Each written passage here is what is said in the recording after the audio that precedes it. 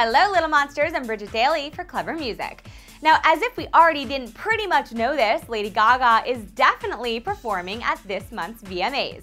She joins Adele, Bruno Mars, Chris Brown, Lil Wayne, and Young the Giant as the confirmed list of performers for the evening, as well as the maybes that are supposedly taking place in the Britney Spears tribute Katy Perry, Selena Gomez, Kesha, Janet Jackson, Nicki Minaj, and Demi Lovato.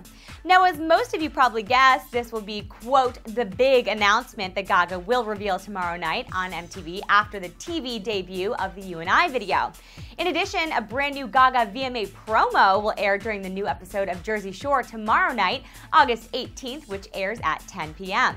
So there you guys have it. Did you guys guess correctly that this would be the news? Let us know by commenting below and sub our channel for all the Gaga news that you can handle every single day. See you guys back here on Clevver Music. Thanks for watching.